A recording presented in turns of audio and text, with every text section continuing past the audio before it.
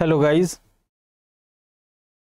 welcome to UPSC Hindi and a very good morning to all of you. In last class, we have discussed many of the keywords of preamble that is justice, liberty, equality, fraternity, है ना justice, SEP, liberty, TEBFW, no, justice, and justice, social, economical, political. Liberty, TEBFW, that is thought, expression, belief, faith, and worship. And after liberty, we have discussed about equality, right? And last, lastly, we have discussed about fraternity. So in today's class, we'll be discussing the keywords, what is inside the keywords, and what the keyword means actually. We'll be discussing about that. You know. So we're starting the class today. Keep focusing. Now, guys, what this keyword sovereign mean? क्या मतलब है ये सोवेरिन का है ना? क्या अर्थ है इसका? Sovereign means that India is neither a dependency nor a dominion of any other nation but it is an independent state there is no authority above it and it is free to conduct it own business own affairs both external and as well as internal internal and external both affairs right.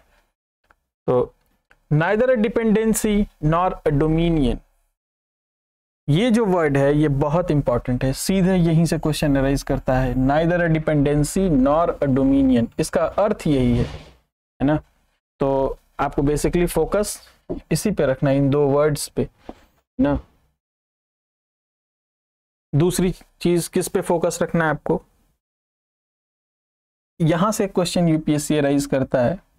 In 1949 India declared membership of commonwealth of nations commonwealth की membership India कब declare करता है? In 1949 ये date date ये बहुत important है। इसको आप याद रखिएगा। चलिए। आगे यूपीएससी कहाँ से क्वेश्चन अराइज करता है? यूपीएससी और यूपीपीसीएस चलिए देखते हैं। द सोशलिस्ट यहाँ से एक क्वेश्चन इस तरह से अराइज होता है है ना?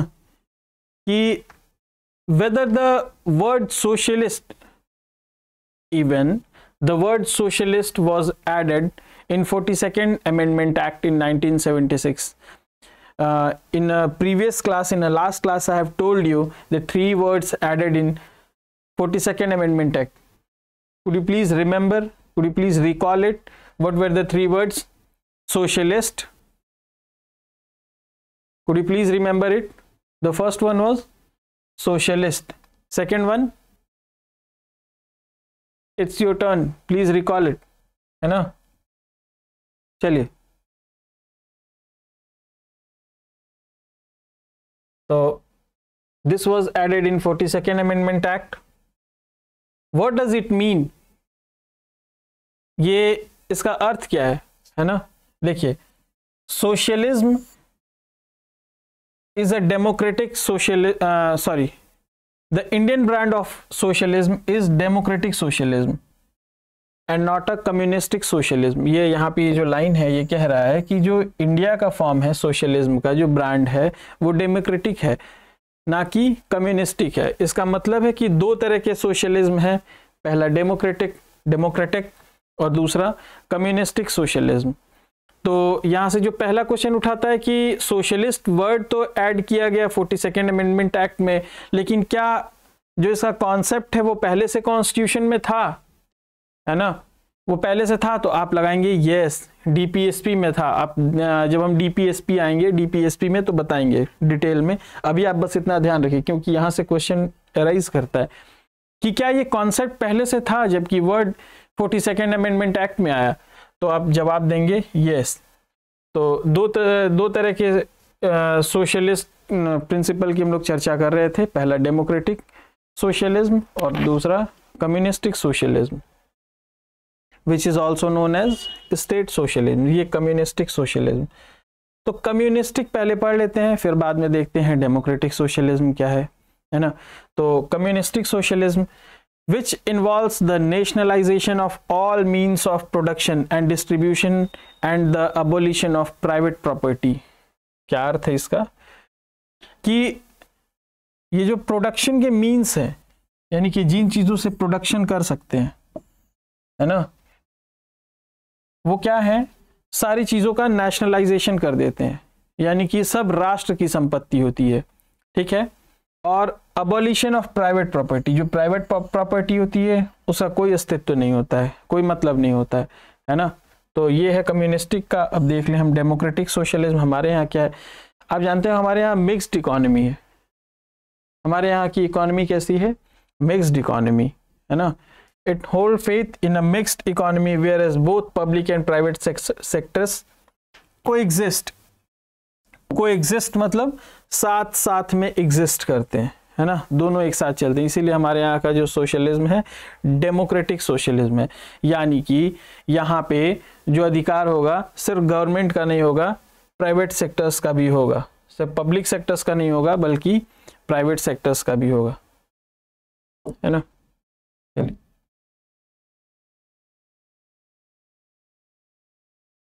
देखिए एक बार यहाँ से। ये सेंटेंस दे करके पूछता है कि सही है या नहीं, है ना? यहाँ से जो क्वेश्चन आता है सेंटेंस सीधे सीधे तीन चार सेंटेंसेस दे देगा ऊपर नीचे। और पूछेगा, इनमें से कौन सा सही है या कौन सा गलत है ऐसा।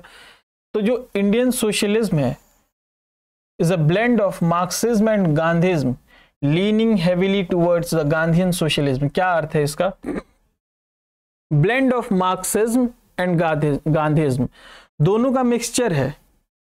दोनों का मिला जुला स्वरूप है। ना कि सिर्फ़ गांधीयन है, ना कि सिर्फ़ मार्क्सिज्म है, जो इंडियन सोशलिज्म है। वो दोनों का मिला जुला है लीनिंग हेविली टूवर्ड्स जबकि क्या है उसका? गांधीयन सोशलिज्म की तरफ़ झुकाव है।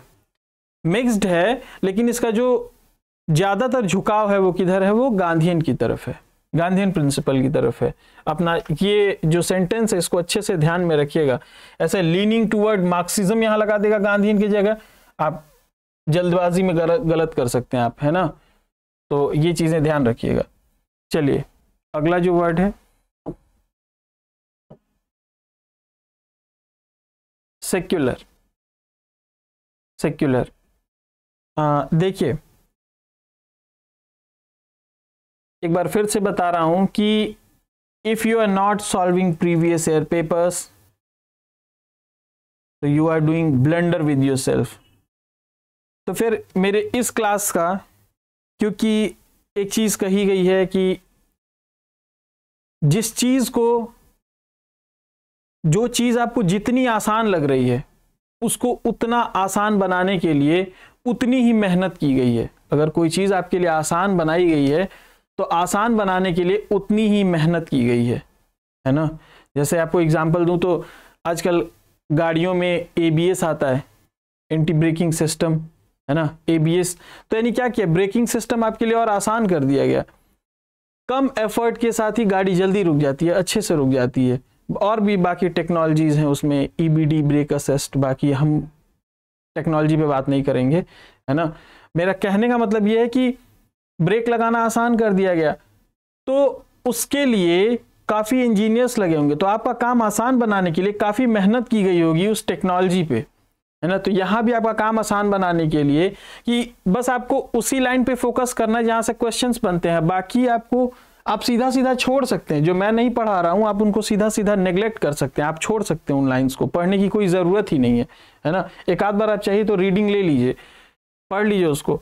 लेकिन ये जो बाकी जिस पे मैंने हाईलाइट कर दिया है जिसको जिसको, उनको कम से कम आप पाँच बार, छह बार, सात बार पढ़िए।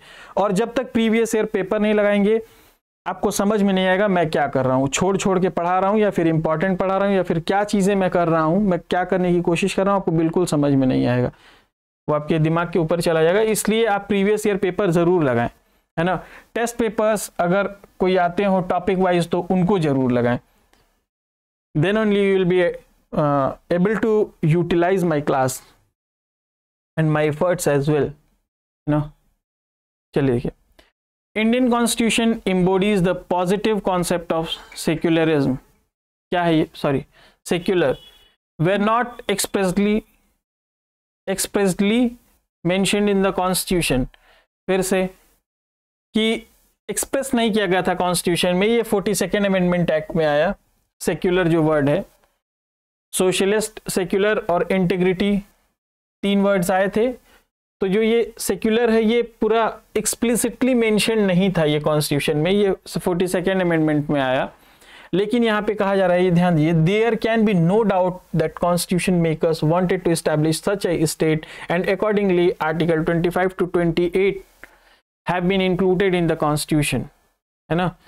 तो सेक्युलर का जो प्रिंसिपल जो कॉन्सेप्ट था वो पहले से कॉन्स्टिट्यूशन में था। ऐसे पूछ सकता है कि जो उसका कॉन्सेप्ट था वो कॉन्स्टिट्यूशन में था कि नहीं? इसके पहले भी। तो आप बोलेंगे था है ना? इस, इसको एक्सप्लिसिटली एक्सप्रेस कर दिया गया। एक्सप्लिसिट यानी कि सामने सामने एकदम से सीधा सीधा देखने लगा कि हाँ ये है सेक्युलर है ना? और दूसरा Indian constitution embodies the positive concept of secularism यहाँ से मेंस में भी क्वेश्चन इस वाली लाइन से मेंस में भी क्वेश्चन आया हुआ है। Indian constitution embodies the positive concept of secularism that is all religions in our country have the same status and support from the state ये देखिए, यहाँ पे पॉजिटिव ये वर्ड आपको ध्यान रखना है, यहाँ में, यहाँ पे पीटी से नेगेटिव लगा करके वो घुमा सकता है आपको। और दूसरा कहाँ पे वो आपको चकमा दे सकता है, वो आप देखें। Have the same status and support from the state same status same status and support from the state है ना? यानी कि सबको एक बराबर इक्वलिटी की बात करता है है ना? Positive concept of secularism and have the same status and support from the state. चलिए। By moving forward we'll be going to discuss the democratic principle what does this word democratic mean what does this word democratic mean ये democratic शब्द का अर्थ क्या है position of supreme power by the people यानी कि जो सबसे ज़्यादा अधिकार होता है वो जनता के पास होता है किसके पास होता है? जनता के पास होता है। डेमोक्रेटिक वर्ड का यही मतलब है। और डेमोक्रेसी होती कितने टाइप की है? दो टाइप की, डायरेक्ट, इनडायरेक्ट। फिर इनडायरेक्ट डेमोक्रेसी को भी दो पार्ट में बांटा जाएगा, है ना? तो अभी देखिए, इसका क्या अर्थ है सबसे पहले? तो आप अपनी बुक में ये लाइन अंडरलाइन कीजिए। Position of supreme power by the people. बाकी सब छोड़ दीजिए, बहुत काम का नहीं है। सीधा सीधा जो मैं अंडरलाइन करा रहा हूँ, आप उसको अपने बुक में साथ में अंडरलाइन करते चलें। और यही फ़ायदा इस तरह से पढ़ने का कि आपके पास सामने सीधी सीधी बुक है। आप जो जो लाइन अंडरलाइन कराता जा रहा हूँ, आप उनको उनको अंडरलाइन करते जाइए, मुझे एक पैरामीटर पे रखिए, देखिए कि जो मैंने छोड़ा है, वहाँ से क्वेश्चन बन रहे हैं या नहीं, या जो मैंने पढ़ाया है, वहाँ से क्वेश्चन बन रहे हैं या नहीं ना? चलिए। Democracy is of two types direct and indirect indirect के डायरेक्ट डेमोक्रेसी के फोर टूल्स हैं रेफरेंडम इनिशिएटिव रिकॉल और प्लेबिसेट इनको डिस्कस ज़रूर करूँगा, लेकिन अभी नहीं। I am promising I be discussing this all the four words but not right now है ना? बट श्योर पहले क्योंकि हम लोग बात करेंगे इनडायरेक्ट डेमोक्रेसी की। दो तरह की डेमोक्रेसी में हम लोग जो इनडायरेक्ट डेमोक्रेसी है, जहाँ से क्वेश्चंस क्वेश्चन खैर दोनों से राइज करता है, ये इंडिया वाला पहले पढ़ ले, फिर देखते हैं उसको डिस्कस करेंगे हम लोग, है ना? चलिए। In indirect democracy representatives elected by the people representatives are elected by the people nominate नहीं होते हैं, और ना ये हेरिडेटरी पोजीशन होती है इनकी, है ना? तो इनडायरेक्ट डेमोक्रेसी का अर्थ ये है। This type of democracy also known as representative democracy is of two time two kinds parliamentary and presidential ये दो तरह की है है ना? इनडायरेक्ट डेमोक्रेसी दो तरह की पार्लियामेंट्री और प्रेसिडेंशियल ये रिप्रेजेंटेटिव का मतलब क्या हुआ? कि जिनको हम इलेक्ट करके भेजते हैं, वो कहीं ना कहीं क्या करते हैं? रिप्रेजेंट करते हैं वो, जनता को, इसीलिए उनको क्या बोलते हैं? Representative. This type of democracy है ना? चलिए।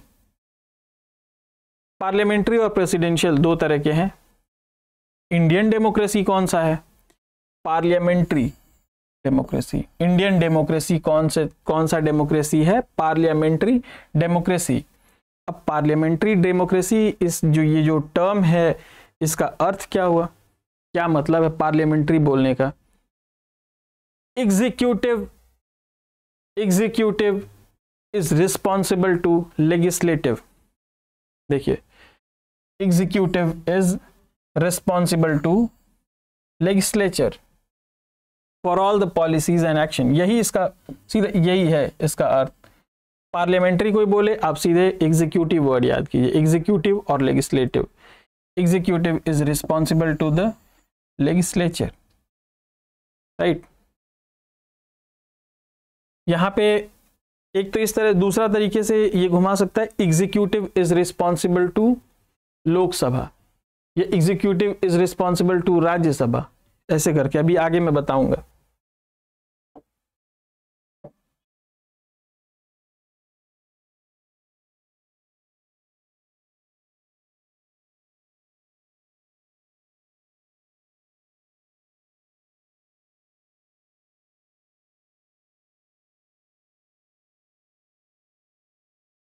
चलिए देखिए।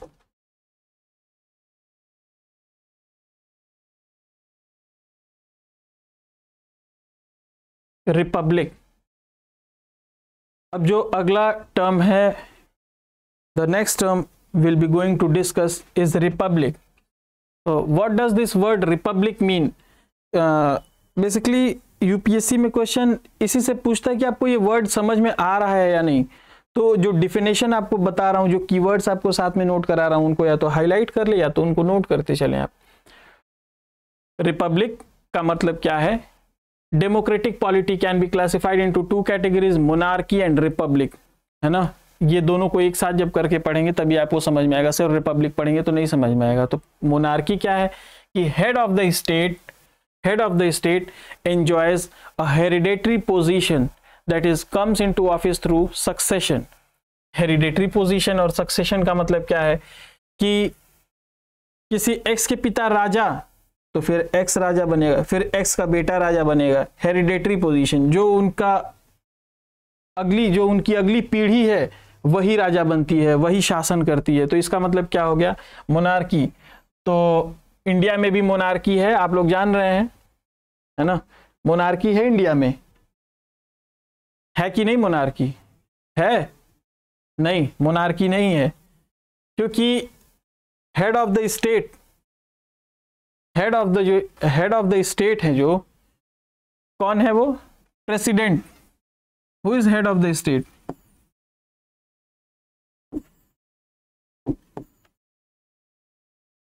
और ये जानते ही हैं डायरेक्टली इलेक्ट होते हैं डायरेक्टली इलेक्ट होते हैं, है ना? डायरेक्टली होते हैं ये? जब फेस टू फेस क्लास होती थी और मैं बोलता था कि आप जानते ही हैं कि प्रेसिडेंट डायरेक्टली इलेक्ट होते हैं तो सभी बच्चे बोलते थे हाँ है ना? यहाँ पे तो खैर मेरे पास ऑप्शन नहीं है। ये इनडायरेक्टली इलेक्ट होते हैं। मैं कई बार जानबूझ के गलत बोलूँगा और आप देखिए कि आप क्या सहमत हो जाते हैं आप तुरंत मेरी बात से, है ना? आप देखिए कि क्या आप सहमति देते हैं मेरी बात से तुरंत, या फिर आपका दिमाग क्लिक करता है कि नहीं, सर, गलत बोल रहे हैं। जिस दिन आप इस पोजीशन में आगे कि फिर बाद में तो मैं बता ही रहा हूँ, दो सेकंड बाद, कि नहीं, मैं गलत बोला हूँ और ये सही है। प्रेसिडेंट इनडायरेक्टली इलेक्ट होते हैं। कभी डायरेक्ट आपने प्रेसिडेंट के लिए वोटिंग की है? पार्लियामेंट मेंबर्स के लिए करते हैं, वैसे लेजिस्लेटिव असेंबली के लिए करते हैं। क्या वैसे प्रेसिडेंट के लिए कभी डायरेक्ट धप्पा मारते हैं? वोट देते हैं आप? नहीं ना? तो ये कैसे डायरेक्टली हो जाएँगे? तो आप देखिए कि क्या आपका ब्रेन तुरंत क्लिक कर रहा है, तुरंत काम कर रहा है। तो आप समझिए जिस दिन आप इस पोजीशन में आ गए कि अब आपकी पढ़ाई सही जा रही है, ये इनडायरेक्टली इलेक्ट होते हैं, लेकिन इलेक्ट होते हैं, है ना? मोनार्की नहीं है यहाँ पे, है ना? तो इसी को कहते हैं रिपब्लिक कि जहाँ head of the state directly या इनडायरेक्टली इलेक्ट हो, है ना? चलिए, आगे। देखिए एग्ज़ाम्पल एक एक देख लीजिए कि ब्रिटेन में क्या है? मोनार्की है है ना?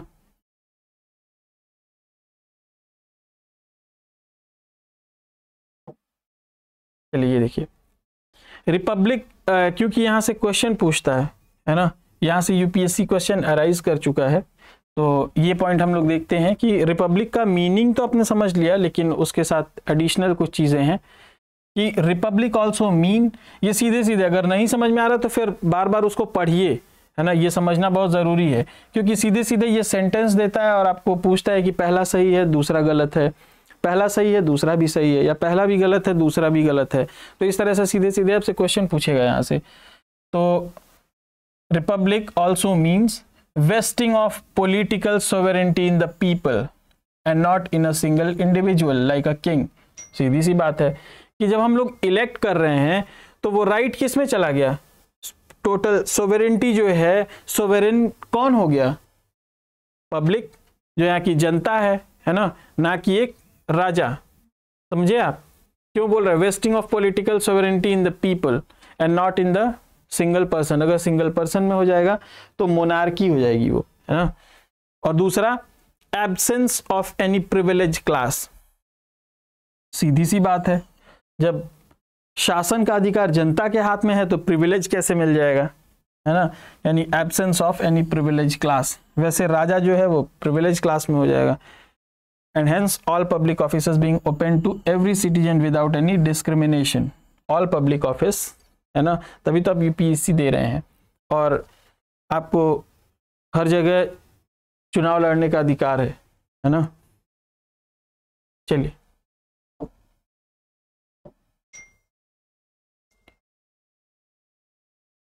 Justice the next word comes is justice कल पढ़ाए थे justice SEP S E P यानी सोशल इकोनॉमिकल और पॉलिटिकल है ना? तो अब सोशल जस्टिस क्या है? Equal treatment of all citizen without any social distinction based on caste colour race religion sex and so on है ना? इक्वल ट्रीटमेंट देखिए इस वर्ड पे फोकस करेंगे? Equal treatment of all citizen without any social discrimination based on caste colour race religion sex and so on it means इसका अर्थ क्या है? Absence of privilege being extended to any particular section of a society and improvement in the condition of backward class that is SC, ST and OBC and women. अभी आप इतना ध्यान रखिए कि सोशल जस्टिस मतलब equal treatment to all the citizen अब ये economic justice ये जो कीवर्ड है, यहाँ से कैसे क्वेश्चंस आते हैं? इकोनॉमिक जस्टिस का मतलब क्या है? किस तरह की इकोनॉमिक जस्टिस आइए हम ये समझते हैं। Denotes the non discrimination between the people and the basis of economic factors which involves the elimination of glaring inequalities in inequalities in wealth, पहला wealth, दूसरा इनकम एंड प्रॉपर्टी ये तीनों वर्ड याद रखेंगे। Wealth wealth income and property, सिर्फ़ wealth income देके आपसे गलत करा सकता है या कुछ और ऐड करके आपसे अलग अलग करा सकता है तो ये वर्ड्स बहुत इंपॉर्टेंट है, ये जो तीनों की वर्ड्स हैं। यहाँ से क्वेश्चन आया हुआ है यूपीएससी में, है ना? देखिए political justice implies that all citizen should have equal political rights equal access to all political officers and equal voice in the government बस, तीसरा ये ये सॉरी ये आइडल ऑफ़ जस्टिस कहाँ से लिया गया है? जो सोशल इकोनॉमिकल पॉलिटिकल ये जो तीन वर्ड्स लिए गए हैं, ये जो आइडिया लिया गया है, वो कहाँ से? रसियन रिवोल्यूशन से। और लिबर्टी इक्वलिटी फ्रेटर्निटी कहाँ से ली गई है? From where the three keywords liberty equality and fraternity has been taken it is from the French revolution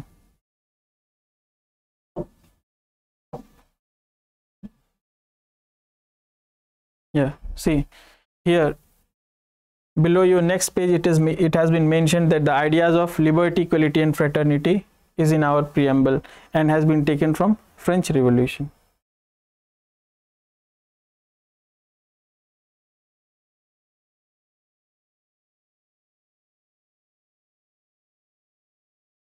So the next word we'll be discussing so one thing we have discussed that the ideals of liberty, equality and fraternity has been taken from french revolution. Then what is the next, what the liberty means? यहाँ पे आप थोड़ा ध्यान दीजिएगा।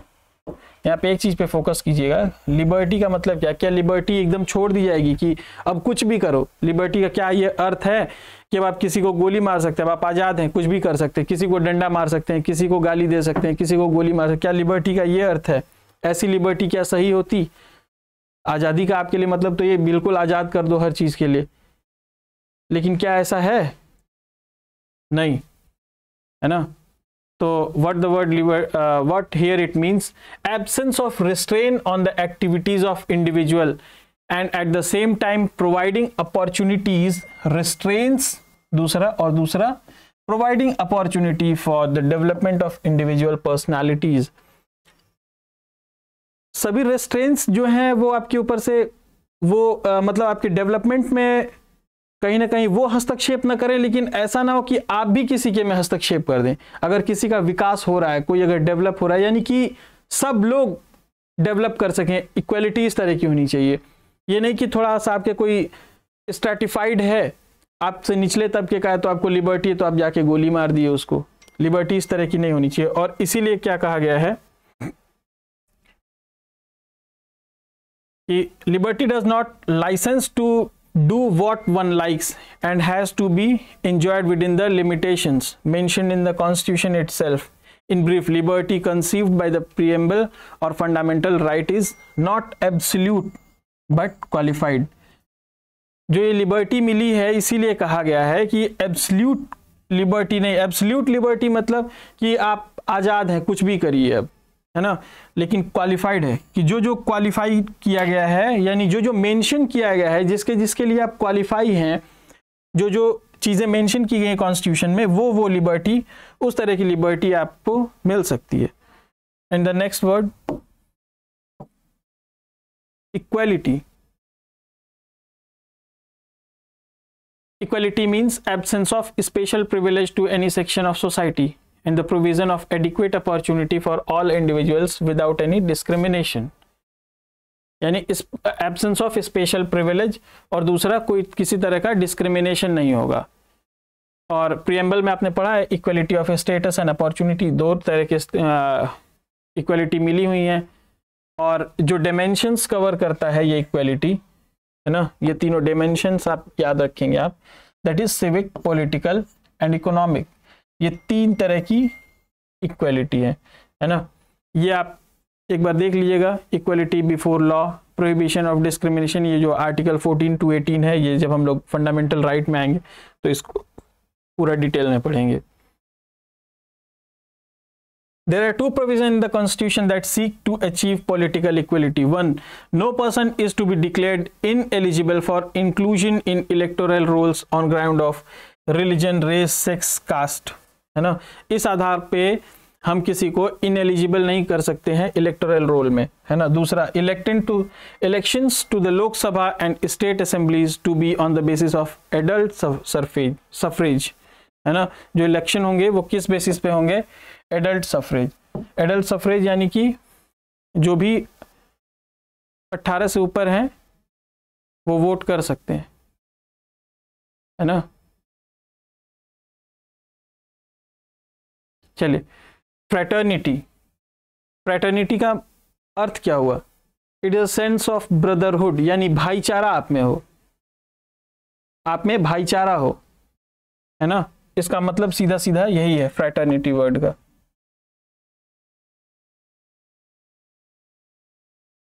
चलिए, अगला।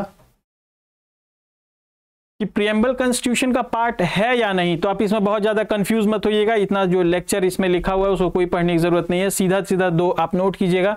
बेरीबारी case और दूसरा केशवानंद भारती केस और तीसरा एलआईसी ऑफ़ इंडिया ये तीन नोट कीजिएगा।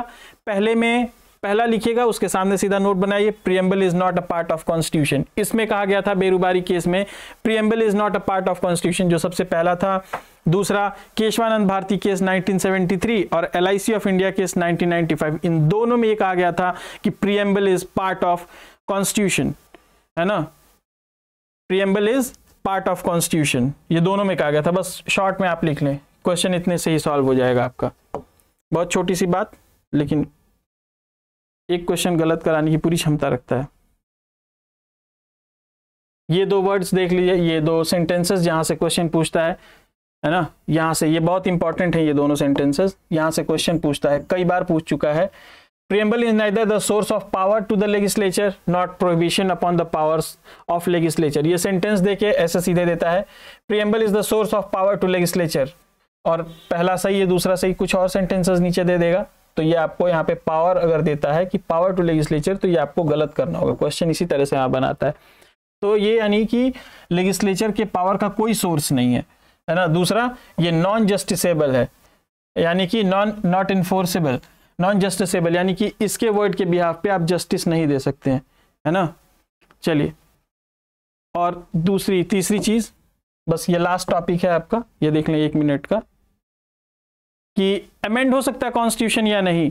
तो अगर अमेंड नहीं हुआ रहता तो फोर्टी सेकेंड अमेंडमेंट आया कैसे रहता? अगर प्रियम्बल अगर अमेंडमेंट नहीं होता प्रियम्बल में तो फोर्टी सेकेंड अमेंडमेंट एक्ट कैसे आता? है ना? तो केशवानंद भारती केस में क्या गया preamble can not be amended and it is not a part of constitution लेकिन बेरूबारी केस में, इस केस में क्या कहा गया है? Preamble can be amend amended and subject to the condition that no amendment is done to the basic basic structure, यानी basic feature. Amendment होगा, लेकिन basic structure में amendment नहीं करना है है ना?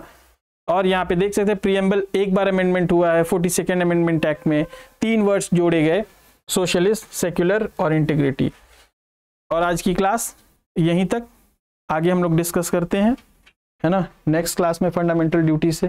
Thank you and have a nice day you